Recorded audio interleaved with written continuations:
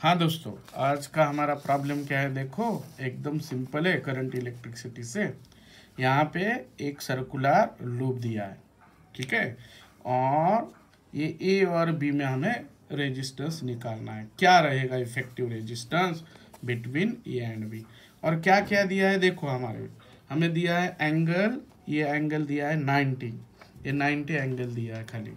अब हम क्या कर देंगे, देखो, और लैमडा दिया है। लैमडा क्या है? Resistance per unit length of the wire अब रेजिस्टेंस निकालना है तो हमें पता है lambda resistance per unit length into length से हम मल्टीप्लाई करते हैं। अब इसे हम कैसे सॉल्व करेंगे, देखो दोस्तों।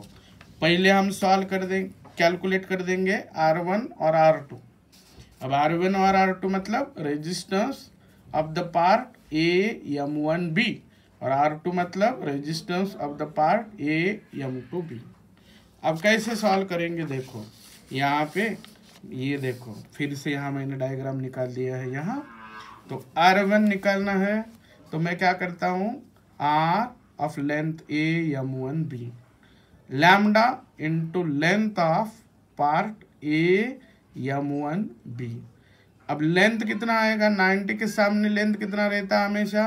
सरकमफ्रेंस का fourth part two pi R by four उसे हम टू पाई आर को एक्स कंसिडर करेंगे तो आर वन मिलेगा लैमडा एक्स बाय फोर अब आर टू अब आर टू मतलब क्या है? रेजिस्टेंस ऑफ़ पार्ट कौन सा? ए एम टू बी तो R A M two B मतलब आर टू वही करना है lambda into length of A M two B अब लेंथ रिमेनिंग लेंथ कितना आएगा देखो दोस्तों? रिमेनिंग लेंथ आने वाला है कितना? Three by four circumference two pi r तो three by four into lambda x अब आर वन भी मिल गया और आर टू भी मिल गया। अब आर वन आर टू किसमें आ गया? देखो पैरेलल में।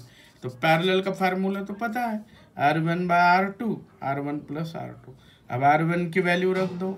लैमडा एक्स बाय फोर ये three lambda x by four और सॉल्व करो। तो हमें मिलेगा three by sixteen lambda x ठीक है? अब हमें यक्स की वैल्यू रखना है। यक्स इक्वल टू क्या है? टू पाया याद रखो आर स्मॉल आर है रेडियस ऑफ़ द वायर तो हमें आंसर मिलेगा three by sixteen lambda into two pi lambda है रेजिस्टेंस पर यूनिट लेंथ और स्मॉल है रेडियस ऑफ़ द वायर अब इसी प्रॉब्लम को हम एक शॉर्टकट से करेंगे, देखो दोस्तों। शॉर्टकट भी तुम्हें याद होना चाहिए। अब शॉर्टकट कैसा है, देखो, हमें वही डायग्राम है, पूरा एंगल वही दिया है आर रेडियस दिया है। तो कैसे सॉल्व करेंगे? ये फार्मूला याद होना चाहिए। इसको तुम रट्टा मारो r wire theta two pi minus theta by four pi square अब आर वायर मतलब पूरे वायर का रेजिस्टेंस ये बात याद रखना है। वो रहता है lambda resistance per unit length into circumference two pi और थीटा बदलेगा, अब यहाँ नाइन्टी है, अभी थीटा कौन सा भी हो सकता है, अगर दूसरे दो दो पॉइंट लिया तो अलग अलग हो सकता है। तो थीटा का वैल्यू हमेशा रेडियन में लिखो पाई बाय टू और सॉल्व करो तो वही आंसर मिलेगा। Three by sixteen two pi into lambda thank you